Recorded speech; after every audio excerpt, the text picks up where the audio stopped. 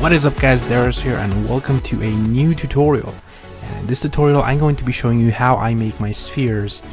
I use spheres a lot in uh, my manipulations and uh, just to give you a few examples, uh, I used it in this photo manipulation for the head, which I then cut off and turn into an aquarium. And uh, obviously in this one, uh, I think you guys saw the speed art if you checked on my channel and uh, as you can see I added some cracks and stuff like that and I, am gonna teach you this so don't worry. And some highlights and whatever. Um, this is my latest uh, matte painting manipulation concept art kind of thing uh, that I use the spheres here for the the drones and in the background to just make these alien uh, stuffs things you know alien structures. Um, and I used it here for the planets in this uh, concept art. And then I used it here. In this concept art uh, for as energy you know for the guy. He's just pumping up. It just ready to explode. So uh, let's hop into the tutorial and see how these are done. So first things first you need a texture. So it, it really depends on what you're doing um, right now. Uh, like if, if I need some uh, some cracked stuff you know I'm just gonna import a texture of some cracked soil so once you have the cracked soil inside of Photoshop, um, the, texture, you know, you can get these from cgtextures.com. Just log into the website and you have a 15 megabyte download per day and stuff like that and just download whatever you want. Um, so once you loaded the texture into Photoshop, grab your elliptical marquee tool by pressing M or going into the menu here and now holding shift you're going to drag uh, a big sphere you know just as big as you need it.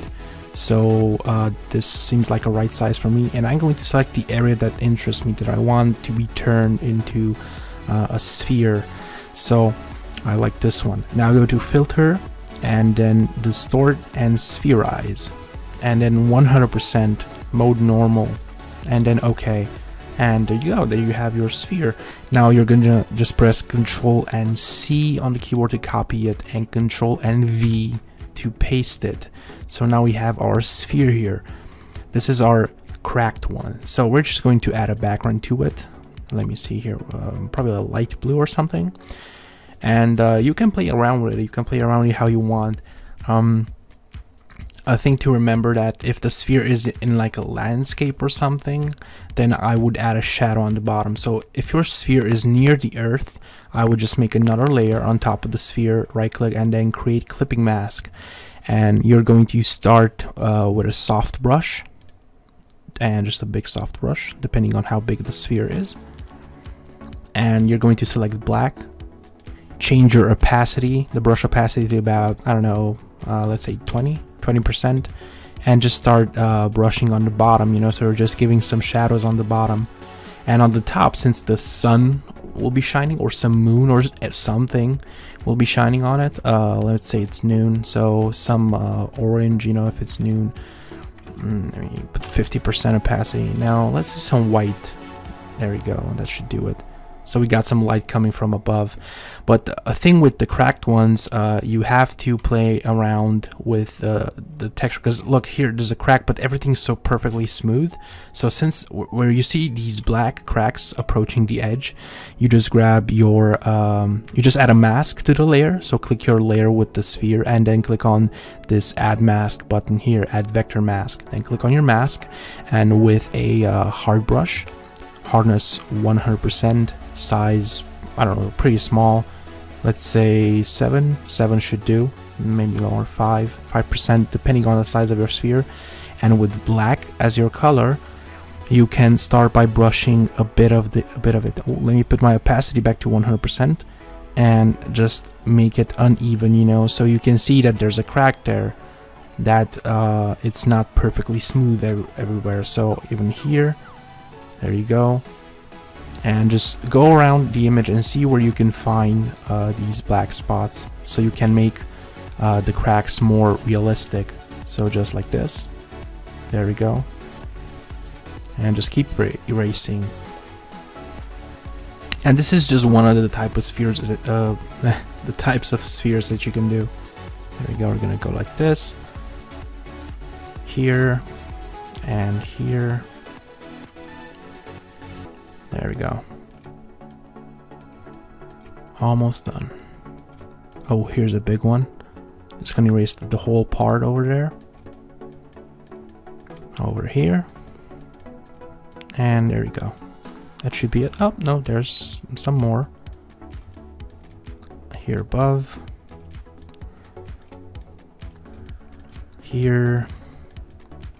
And so on. Gonna erase that one. I Don't need this.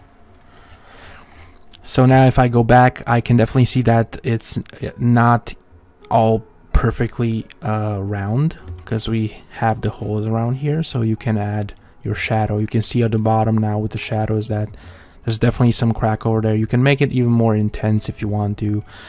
Um, and you can uh, add, I don't know, some color inside uh, with a brush. Just make it like lava falling out or something. And I'm to show you that in a second, how I did it.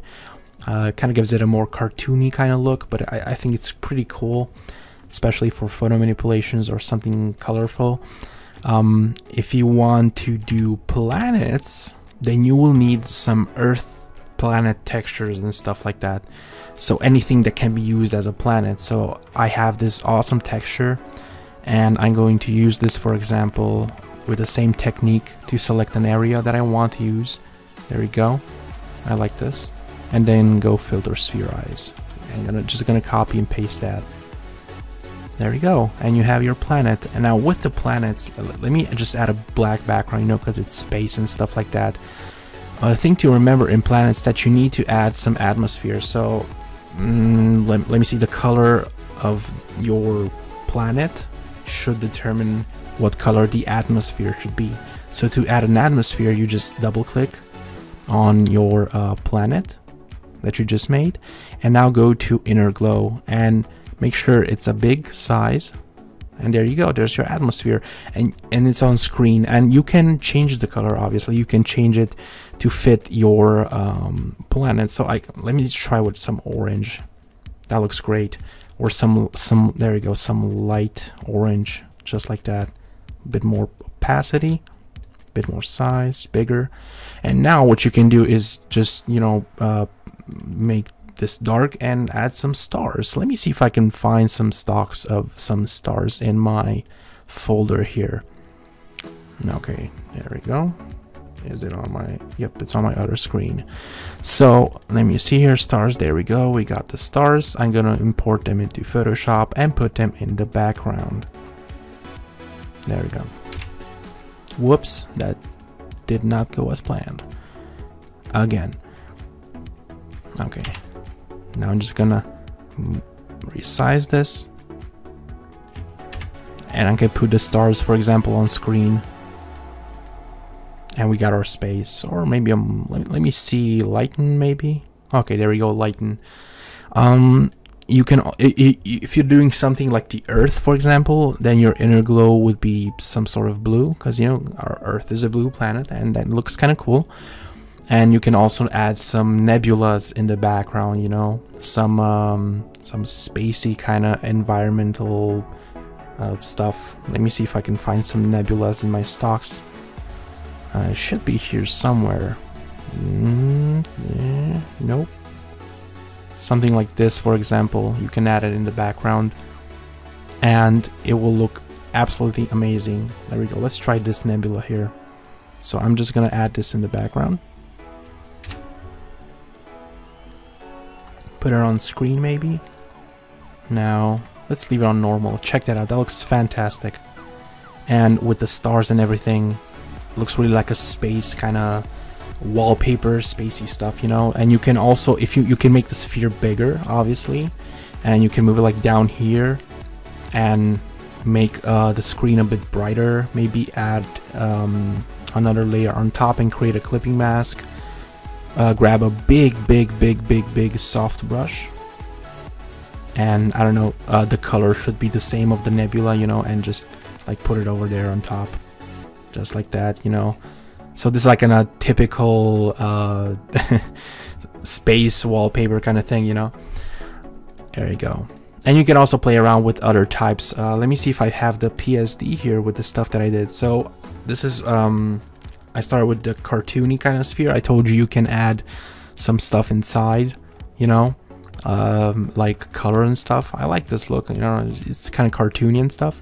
The planet that I just showed you, then you can make some water, for example. So I have the sphere here, which was basically just uh, some some sea foam from, uh, let me see, this this stock here, and I just made uh, a sphere out of it. And then I just, you know, added some stuff in the background, some color correction here and there. And I added the outer glow as I showed you. And then some water splashes on top which are on screen. See that's it. And this is like a water ball. And I did the same with fire. Just the same sphere with fire with some fire stalks and that's about it. You know I just selected um, some fire see? Made a sphere added some highlights and then just added flames on screen again. There we go. That's basically it. I You can use these spheres for anything that needs a sphere. So if you need like a planet uh, behind a city or a, a, landscape that you made, it's uh, just really easy to do and it looks cool and it's really fast.